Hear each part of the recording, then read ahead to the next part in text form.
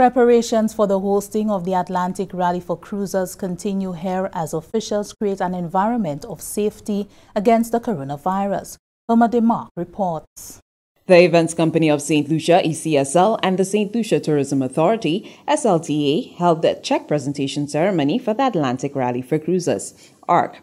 This event is being scaled down from 250 to 100 participating vessels due to the COVID 19 pandemic.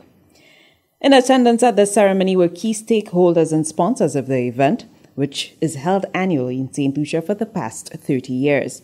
The IGY Rodney Bay Marina is the event partner for the ARC and was represented by the general manager, Sean Devaux. Also present was the chairperson for the St. Lucia Tourism Authority, Chris Gustav, and CEO of ECSL, Laureen Sidoni.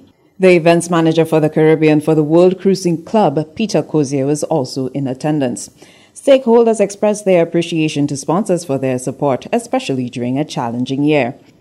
Laureen Sidoni is the Chief Executive Officer for the Events Company of St. Lucia. We do have 30 years of data to work with. So we have a list of sponsors that have supported us. I'm not sure if any has supported us since the start of ARC and ARC Plus, but we do have a list of sponsors that have been with us for a number of years.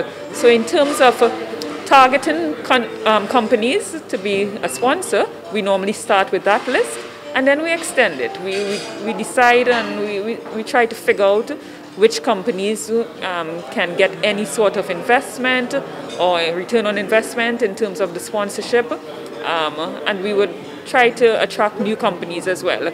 The Atlantic Rally for Cruisers will run under strict protocols for the protection of participants and the public against the coronavirus. The general manager of the IGY Rodney Bay Marina, Sean Devaux, explains the protocols that are in place. For the ARC, the participants will un undergo one week of voluntary isolation on board. After that, they will conduct their negative, well, a COVID test, which hopefully will be negative, um, and they will be approved to sail across the Atlantic.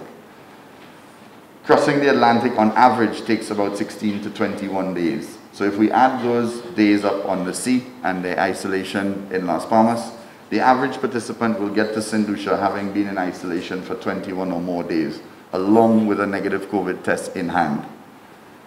In addition to that, daily temperature checks will be conducted and recorded by the captain on board for everybody on board.